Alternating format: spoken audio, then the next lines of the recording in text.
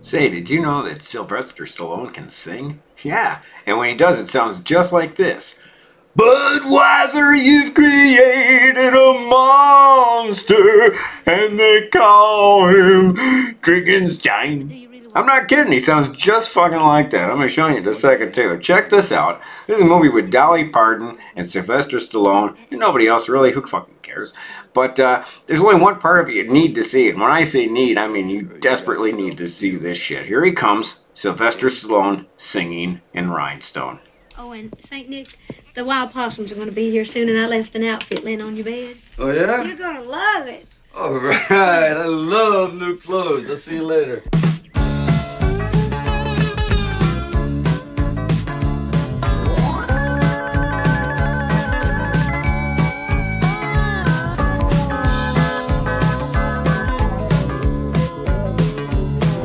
Budweiser, you created a monster, and they call him Drinkenstein. And the tavern down the street is the laboratory where he makes the transformation all the time.